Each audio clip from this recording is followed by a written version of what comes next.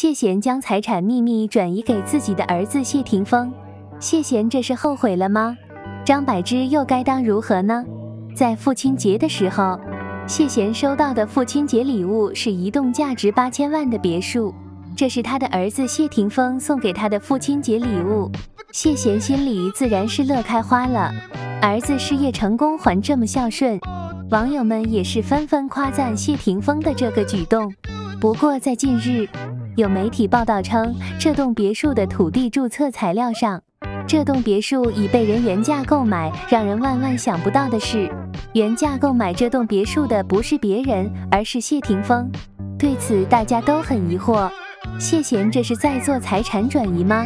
记得在此前，谢贤曾经在一次访谈节目中公开表示：“我儿子谢霆锋没有福气和张柏芝在一起，希望张柏芝能找到属于自己的幸福。我会一直都支持张柏芝。”听了谢贤的一番话，感觉谢贤是一个有情有义之人，觉得谢贤也是十分的疼爱自己的孙子，一切都是为了自己的孙子。可是事实果真如此吗？现如今，谢贤又秘密地把财产转移给了自己的儿子谢霆锋。难道谢贤是在后悔将自己的财产分给张柏芝和自己的孙子了吗？早知道这样，当初何必要把财产分给张柏芝和孙子呢？还是亲口说出的那些话？网友们也是想了解事情的真相，于是之后就有媒体记者连线采访谢贤。没想到谢贤却回应说：“这是我们的家事，无可奉告。”而谢霆锋的经纪人也说：“艺人的私事不会透露。”谢贤和谢霆锋既没有否认，也没有承认。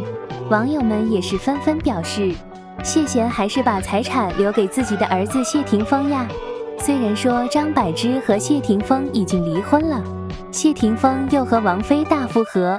但是王菲和谢霆锋是不被认可、不受祝福的，尤其是谢贤特别的反对。谢霆锋和王菲两个人复合至今已有九年时间，也是一直都没有结婚。而且谢贤也曾经公开坦言，他只认张柏芝这一个儿媳妇。谢贤放出这样的话，是想警告王菲不要妄想踏进谢家的大门。不过话又说回来。张柏芝只是谢贤孙子的妈妈和前儿媳妇，而谢霆锋毕竟才是谢贤的亲生儿子。谢贤会把自己的大部分财产都留给自己的儿子谢霆锋，而不是给张柏芝，这也是天经地义、再正常不过了。不过，个人认为谢贤应该会留一部分财产给他的两个孙子。对此，你有什么不同的观点和看法吗？欢迎留言评论，最后别忘了长按点赞支持一下哟。